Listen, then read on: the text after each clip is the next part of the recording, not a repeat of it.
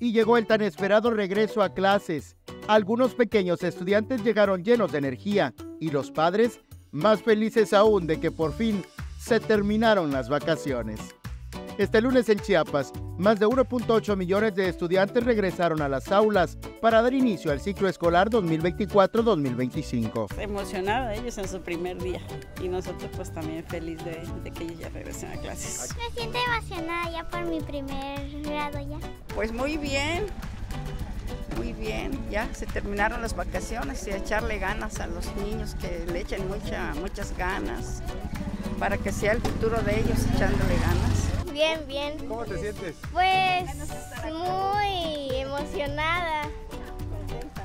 Sí, contenta, sí. Pero no todos están tan emocionados de volver a la rutina. Yo quería venir más tarde, pero me levantaron temprano. Me levantaron a las seis. Yo quería venir a las siete y media. Y hay padres que están más preocupados por el entusiasmo que por las mochilas. Pues que los niños tengan, este, regresen con muchas fuerzas y energías y que aprendan lo, lo, lo mucho que, que los profesores vienen a enseñarles.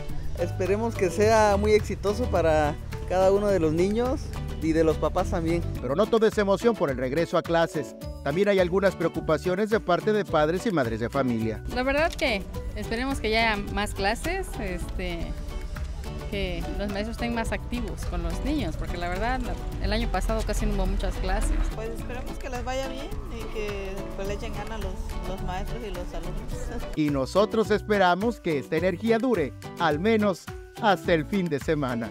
Con imágenes de Christopher Canter, Eric Ordóñez, Alerta Chiapas.